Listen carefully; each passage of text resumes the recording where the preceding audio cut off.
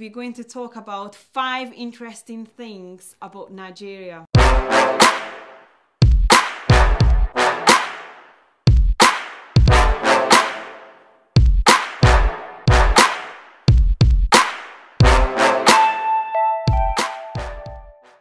We're going to talk about five interesting things about Nigeria.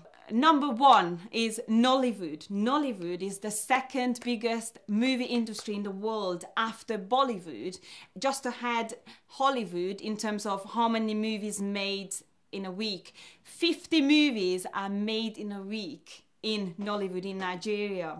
Number two, are we ready? Yeah. yeah. Number two is the numbers 010 or 101 that actually refers to food in nigeria. So when you say i had 010 that means that you had lunch and you skipped breakfast and dinner and if you say that you had 101, that means you had breakfast and dinner and you skipped lunch. So number three, Nigeria, Nigeria's population is 190 million at the moment. Nigerian people love big families and a lot of children. so why do Nigerian people love big families? I mean, my father-in-law had 20 children. Number four, Ibeji, that refers to twins in Nigeria.